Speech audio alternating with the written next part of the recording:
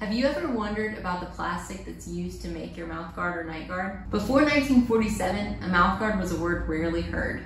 Boxers were using a material called gutta percha, designed by a dentist to protect their teeth during mashes. Hey, it was a step up from the piece of wood they were clamping down on in the 1800s. That's right, boxers would place a piece of wood between their teeth to clench down on before a fight. Over the next several decades, as dental mouth guard fabrication evolved, New materials were introduced, including acrylics, resins, EVA, copolyester, silicone, and rubber, to name a few. In recent years, people have become increasingly concerned about the material used to create a dental mouth guard or night guard. So, how are we doing today? The good news is any reputable dental lab will prioritize human safety and will only use the highest quality materials. Your dental mouthguard or night guard provider should always be able to tell you the ingredients used to make your custom mouthguard product. Some chemicals you will want to avoid. BPA. BPA stands for bisphenol A. It's an industrial chemical that's been around since the 1950s. It's been used in the making of many different plastics and the concern is that it can leach into your body and cause possible health issues. Some studies have reported a connection between BPA exposure and health effects in infants. In adults, the studies have reported effects to the brain, diabetes, and even linked to heart disease. However, the threat of BPA is still widely disputed by researchers, as many believe the health risk is low. Most dental night guards and mouth guards are BPA free. Phthalates. Phthalates are a group of chemicals used to make plastics more durable. Just like with the BPA, the threat of low doses of phthalates is still unclear. However, some research shows that exposure to phthalates carries the risk of damaging the liver, kidneys, lungs, and reproductive system. The issue is that phthalates are not chemically bound to the product they're in, so they can be released into the environment and may cause human exposure. Some dental night guards and mouth guards do contain phthalates, so be sure to check with your provider before purchasing. MMA, methyl methacrylate. MMA is most commonly used in the manufacturing of resins and acrylic plastics. Respiratory and neurological symptoms have been reported in humans in the event of direct exposure.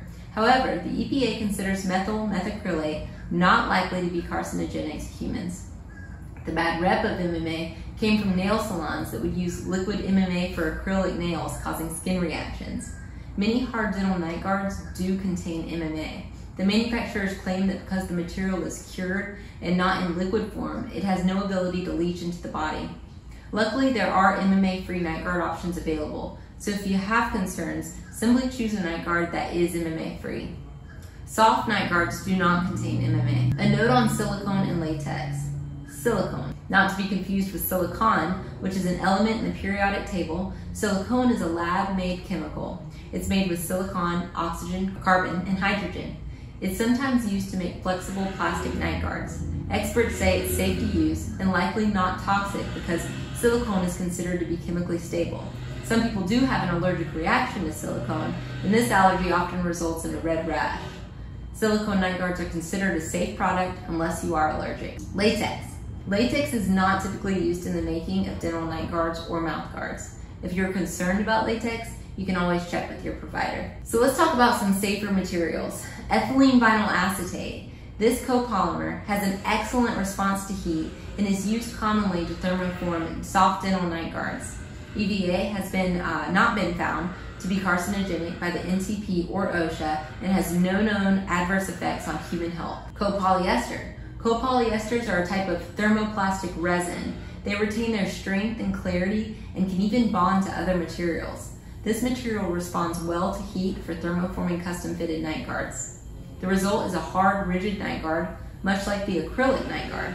So if you're looking for an alternative to tr traditional acrylic night guards, the copolyester acrylic-like night guards are a great option. MSDS sheets report no toxicity in copolyester. So why does it matter?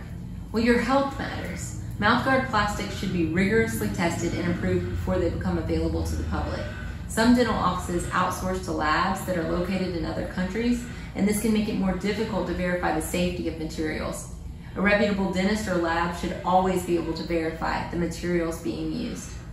As always, thank you so much for watching and take care of your smile.